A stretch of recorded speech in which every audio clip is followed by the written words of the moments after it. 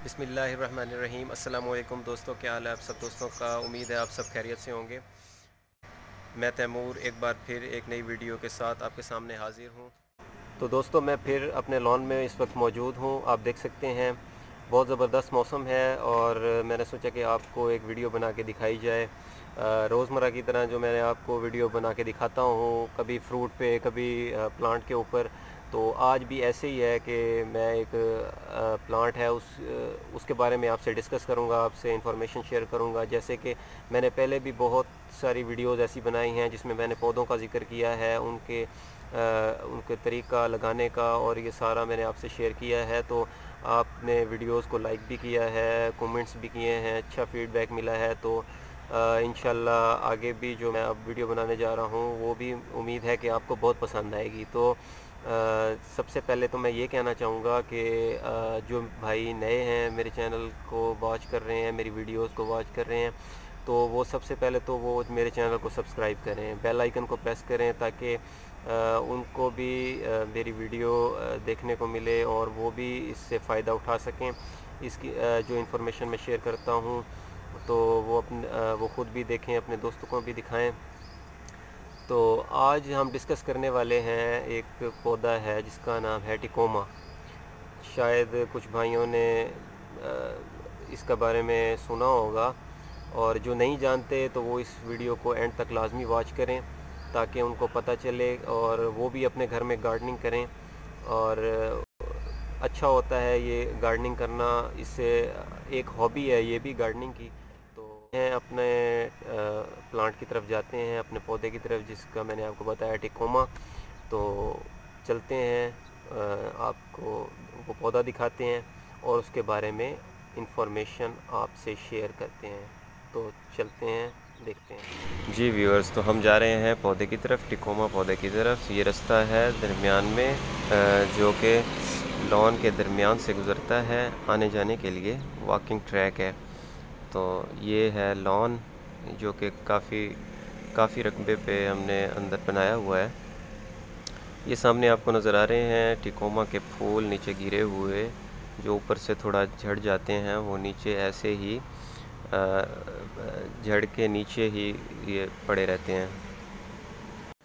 फ्यूर्स ये है पौधा टिकोमा का, आपको नज़र आ रहा है सामने, ये ये देखें नीचे से बिल्कुल ये साफ़ है, ऊपर इसके देखें कैसे ये फूल इसके लगे हुए हैं।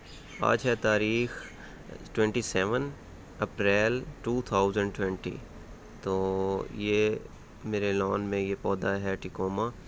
तो ये फूल देना शुरू हो चुका है। ये देखें कितनी तादाद में ये येलो फूल कितने प्यारे लग रहे हैं।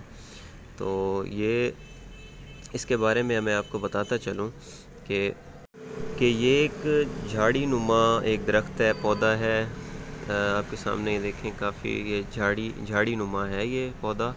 तो इसको अगर दरमियान से हम काट लेते हैं ना तो ये ऊपर डिज़ाइन इसका बन जाता है। हमने तो सिंपल इसको रखा हुआ है कि जैसे दरख्त की एक शक्ल होती है कि वो नीचे से साफ़ होता है, ऊपर से ये इसका झाड़ियाँ होती हैं और इस तरह ये फूल लगते हैं। तो आप इसको हर डिज़ाइन में इसको डाल सकते हैं, इसको भी। तो ये हमने तो ऐसे सिंपल रखा हुआ है इसको। ये येलो कलर के फूल, आप देखें इसमें शहद की मक्खी भी इसका रस चूसने आई हुई है, ये देखें, ये ये अंदर है इसके। तो ये बहुत खूबसूरत फूल हैं इसके देखने में ये बहुत खूबसूरत लगते हैं और आपके घर की खूबसूरती को भी बढ़ाते हैं। तो ये देखें इसका ये जो बीज लगा हुआ है, ये देखें, ये सूख चुका है, कुछ सूख चुका है और कुछ सब्ज़ है। अच्छा दोस्तों, सबसे पहले मैं आपसे इन्फॉर्मेशन शेयर करता हूँ कि ये दिसंबर और जनवरी में ये फूल नहीं देता। इसके फूल दिसंबर, जनवरी में नहीं होते। इसके फरवरी में फूल इसका वो लगता है बीज और उसके बाद ये मार्च से इसके फूल लगना शुरू हो जाते हैं, जो कि पूरा साल फिर रहते हैं। पूरा साल इसके फूल रहते हैं फिर। ये देखें, ये साथ ही एक और पौधा भी लगाया हुआ है। ये देखें, इसकी टहनियाँ भी वैसे ही हैं। और ये आठ माह इसके फूल लगे रहते हैं। सिर्फ़ दो माह नहीं लगते, जनवरी और दिसंबर में। ये बात आप याद रखें। अच्छा इसकी नशोनुमा बढ़ाने के लिए आप इसको फर्टिलाइज़र भी दे सकते हैं, जिसमें आ जाता है N P K nitrogen phosphorus और पोटाशियम जो इसकी नशोनुमा को बढ़ाता है।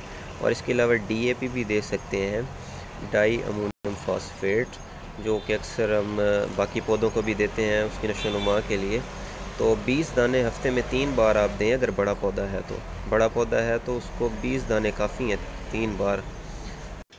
ये देखें, ये उसी लॉन में तीसरा पौधा हमने लगाया हुआ है। ये देखें, ये इस नीचे से, ये साफ़ नहीं है, नीचे से ही, इस टहनियों से ही ये जो है अपना पत्ते और इसके देखें, फूल कितना ये खिला खिला हुआ पौधा है। और इसके बारे में ये है कि अगर आपका छोटा पौधा है तो उसे दो से तीन दाने आप फर्टिलाइज़र के दे सकते हैं। क्योंकि ज़्यादा नहीं दे सकते थोड़ी खुराक दें तो पौधा ख़राब नहीं होता। तो इसको मुनासिब खुराक मिले और इसकी प्रोनिंग होती रहे इसकी कांट छांट होती रहे तो ये बहुत अच्छा ये आ, इसके फूल लगे रहते हैं ऐसे। ये देखें किस तरह इसकी भी बाकी पौधों की तरह ही ज़बरदस्त इसकी नशोनुमा हुई हुई है। और ये देखें, इसके अभी ऐसे ही ज़्यादा तादाद में फूल हैं, जैसे कि मैंने पिछले दो पौधों का आपसे ज़िक्र किया है, आपको दिखाया है। तो ये बेसिकली ये नमी वाली जगह पे जो है, ये ज़्यादा इसकी नशोनुमा अच्छी होती है। जहाँ थोड़ी नमी हो, पानी इसको लगता रहे तो ओवर वाटरिंग ना हो ओवर वाटर इसको ना दिया जाए। तो सबसे अहम बात आपसे शेयर करता हूँ मैं कि इसकी जो फलियाँ हैं, जो मैंने आपको दिखाई, वो बीज की सूरत में लग जाती हैं तो उसको काट लेना चाहिए।